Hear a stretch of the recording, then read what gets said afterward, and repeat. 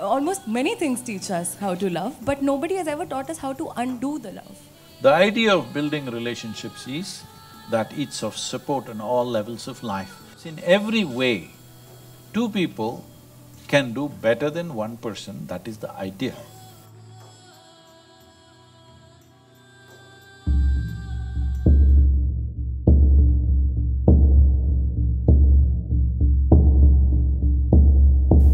Everybody teaches us how to love. Movies, poems, Really?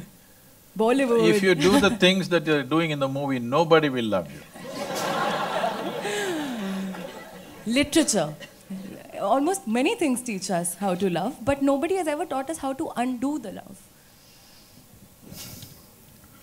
See about breaking hearts. Uh, I don't have a broken heart because I gave away my heart very early on in my life, so nobody can break it, you know. I gave it away. You should do that, then nobody can break it. See, we must understand this. What is a love affair?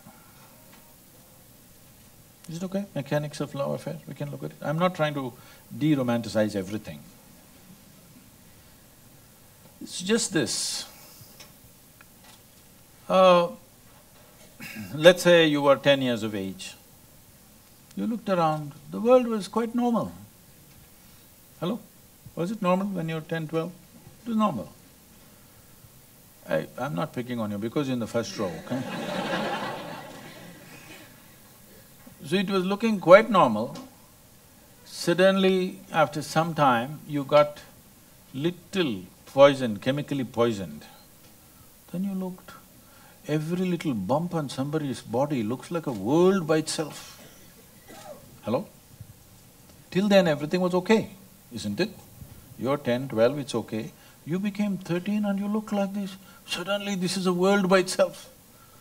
The neighborhood squawny girl who didn't mean a damn thing to you, suddenly she's the focus, she's the apple of your eye. yes? So this is because your intelligence has been hijacked by your hormones. So it is making funny things happen. It is making you believe all kinds of things. When you look back and say you'll feel stupid, but it's okay. There's nothing wrong about it. But it's very important that we understand what's happening to us. Otherwise, we'll do idiotic things that we may regret later, you know. It is not a question of morality, it is a question of handling our life sensibly. This serial heartbreak business can leave you paranoid about anything, about bonding with anybody in your life. Yes or no? Hmm? You had serial heartbreaks, it looked like fun for some time. After some time, you just don't actually trust anybody in your life because another human being is a problem always. Only when our emotions allow you to cross that problem, in some way they get included. But if we have serial heartbreaks, we will never allow our emotion to cross those barriers. We will always be cautious because anyway this is come with a… what? Expiry date. Huh?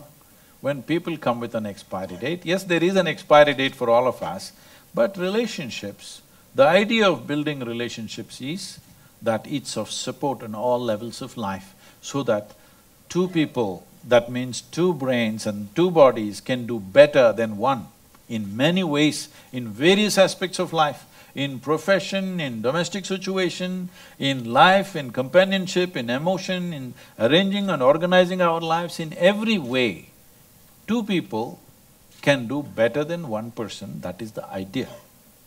And of course, nature is pushing us together because nature doesn't care about your love affair, it just wants you to reproduce. Yes? You think Mother Nature is worried whether you love or you don't love, it wants you to reproduce. But we've overdone that a little bit. There's no hurry, we don't have to yield to that. Hello? Yes. if you were a tiger, I would encourage you, please reproduce, reproduce, because it's an endangered species. Human beings definitely not endangered, we are endangering everything. so, reproduction is not the purpose right now, we have kept it aside. But nature's push is towards that. but we have emotional needs, physical needs, psychological needs, maybe financial and social needs, variety of needs, to conduct these needs in a dignified way, to conduct these needs in a… See, once you come as a human being, you can't do things, though they're the same things what the animals do, but we would like to do it more gracefully, consciously. Whether we eat or we copulate or we sleep, we like to do it little more aesthetically right. That's an important thing. For that, we need the cooperation of another person who is also somehow congruent to us. Every two days, if you have heartbreaks and going on, well, uh, you will see the trouble of that.